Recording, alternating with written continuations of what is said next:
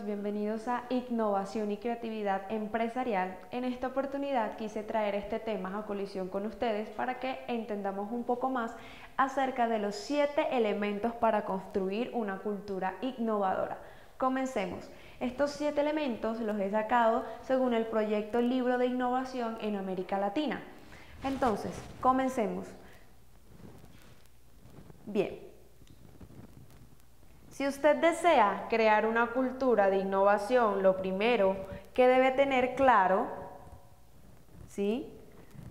Lo primero que debe tener claro es cuáles son los elementos que componen, ¿sí? Que los componen, es decir, cómo sabrá ¿Cómo sabrá reconocerla cuando la vea? Sí, Mario Morales, un emprendedor serial y consultor de innovación, revela las claves para lograrlo en este libro del que les mencioné.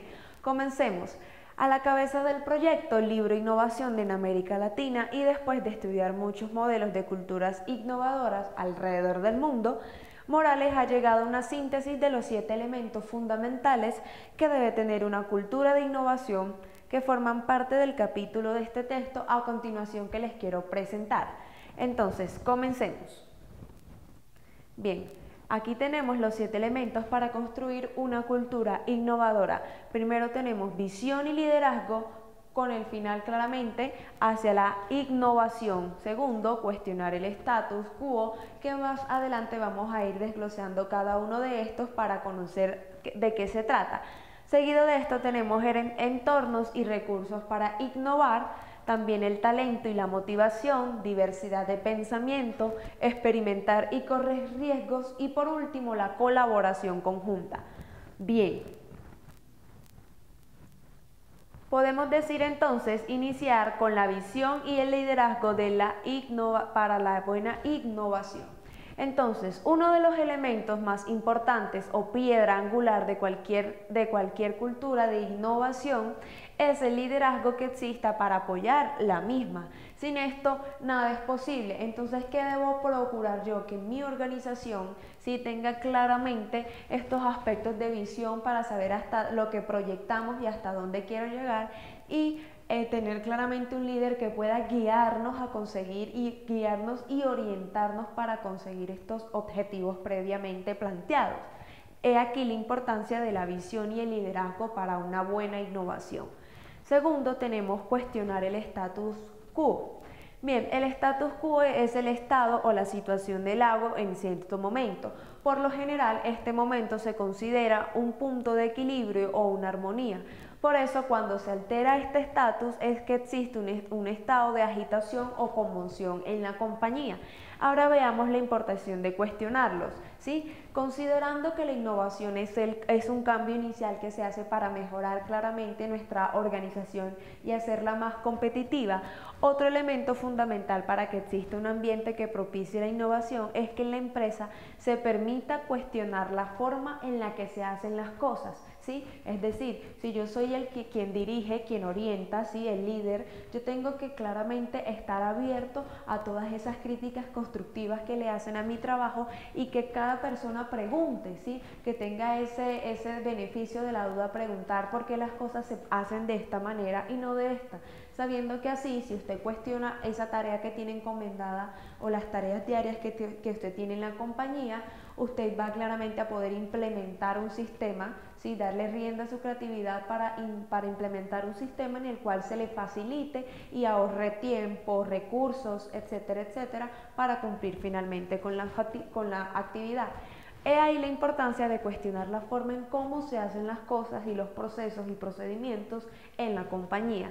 ¿Sí? La innovación es un estado mental y si uno no quiere y si uno quiere innovar va a recurrir indiscutiblemente un estado mental de innovación, de querer darle respuesta a una necesidad, ¿sí? Y salir un poco de la zona de confort. En el tercero tendríamos el entorno y recursos para innovar. ¿Por qué es importante este pilar? La excusa más frecuente para no innovar es no tenemos tiempo, ¿sí? O el día que nos absorbe, este, que nos absorbe, que nos sobre tiempo, lo haremos, ¿sí? Una cultura que apoye la innovación debe crear el clima y dar el tiempo y espacio para innovar. en su clima organizacional usted debe procurar que sus colaboradores o empleados tengan este espacio abierto a darle rienda suelta a la creatividad. ¿sí? Cuarto, talento y motivación. Las empresas no innovan, las empresas no innovan, son quienes innovan finalmente, las personas, ¿sí? Por lo que para que haya, para que exista una cultura de innovación se debe traer, retener, desarrollar, motivar y reconocer ese talento innovador.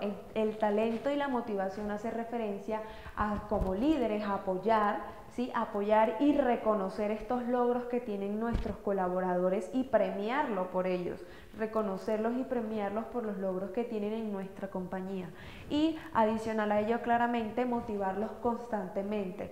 Como quinto tenemos experimentar y correr riesgos. ¿A qué hace referencia experimentar y correr riesgos? Claramente en la innovación sabemos y en la creatividad que no lo hacemos muchas veces por miedo, ¿sí? Entonces, ¿qué quiere decir esto? Usted debe aprender a utilizar ese miedo como impulsor de la acción, ¿sí? Y darles rienda suelta a experimentar y correr riesgos, ¿sí? Y ver qué puede pasar. La innovación, por definición, implica un riesgo. Sin este, si usted no se arriesga, no puede innovar por lo que en un ambiente que permita la experimentación y el fracaso son indispensables para que suceda la innovación. Como sexto, tenemos la diversidad de pensamiento. Esto hace referencia claramente a la fuente principal de nuevas ideas. ¿sí? Es la diversidad de las personas, que cada uno participen con un, con un pensamiento creativo desde las distintas dimensiones, desde diferentes perspectivas y cada uno de a conocer su punto de vista frente a tal tema, problemática o necesidad específica en el momento. ¿sí? Y para que estas personas participen en este proceso hay que asegurar la existencia claramente de la aceptación de esta diversidad de pensamientos. Bien, por último, tendríamos la colaboración. En cuanto a la colaboración, lo han, lo han comprobado todos los estudios realizados sobre el tema. La innovación es un esfuerzo transversal a toda la empresa que necesita de la colaboración de todos los departamentos y áreas, es decir, de todos sus colaboradores sin hacer ningún tipo de distinción. ¿sí? Todos los departamentos, las áreas, unidades o divisiones. ¿sí? Sin colaboración claramente no hay una innovación porque muchas cabezas, muchas mentes piensan mejor que una. ¿sí? Entonces, eso era básicamente lo que quería compartir con ustedes. Todos estos, estos, estos siete elementos para construir una cultura innovadora, que aquí los vemos en este esquema que les construí a continuación, que lo explicamos inicialmente. Chicos, nos vemos en una próxima oportunidad. Espero estén muy atentos al contenido que se carga en la plataforma y si tienen dudas no dejen de escribirme o dejarme un mensaje. Nos vemos en una próxima oportunidad. Hasta pronto.